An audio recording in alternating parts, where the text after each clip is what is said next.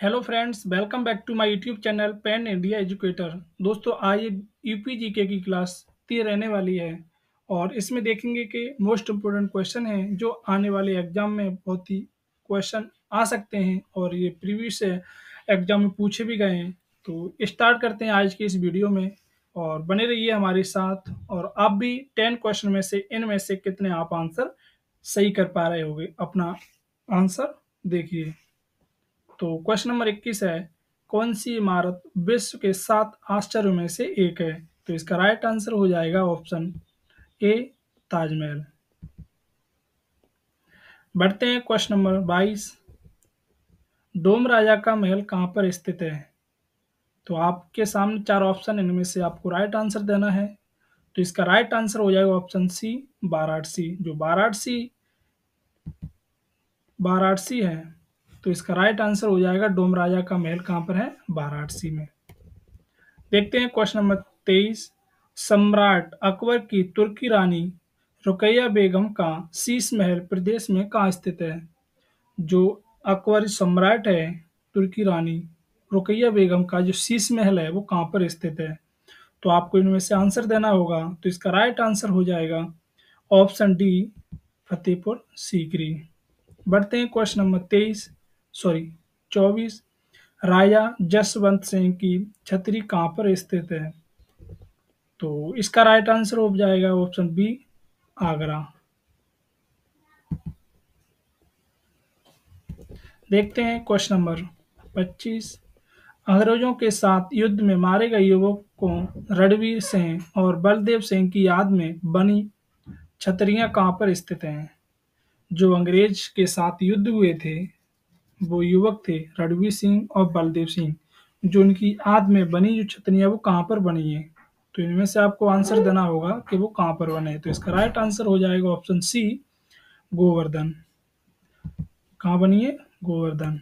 बढ़ते हैं question number छब्बीस, मुसम्मन छतरी कहाँ पर स्थित है? तो आपके सामने चार ऑप्शन ये दिख रहे हैं तो इनमें से आपको राइट आंसर देना है, इसका राइट आंसर हो जाएगा आगरे के लाल किले में ऑप्शन बी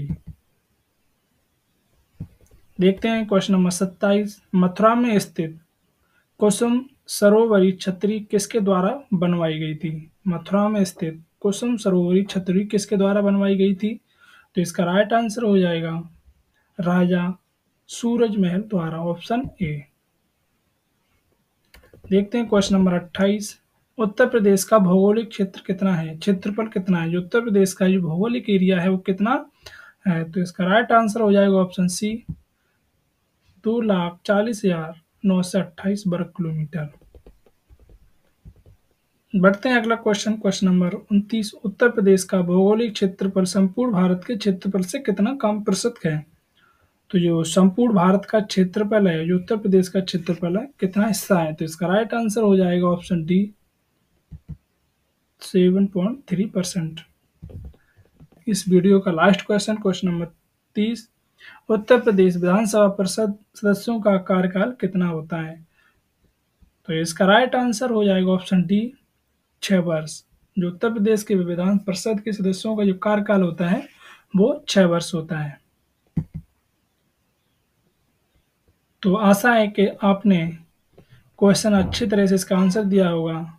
तो मैं पूछना चाहूँगा, इन टेन क्वेश्चन में से आपने कितने क्वेश्चन इसमें से सही किए हैं? मुझे कमेंट सेक्शन में इसका आंसर बताएँ। कि आप लोगों ने इन टेन क्वेश्चन में से कितने के आंसर सही किए हैं?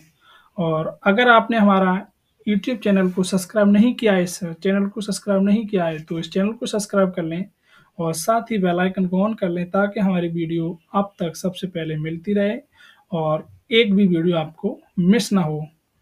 और आपने अगर हमारा टेलीग्राम चैनल को ज्वाइन नहीं किया है तो इस वीडियो के डिस्क्रिप्शन हमने उसका लिंक छोड़ दिया है। वहाँ जाकर आप मेरे टेलीग्राम चैनल से ज्वाइन हो सकते हैं। वहाँ आप पीडीएफ आपको मिलती रहेगी।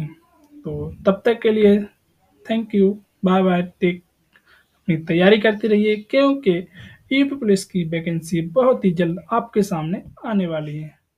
Thank you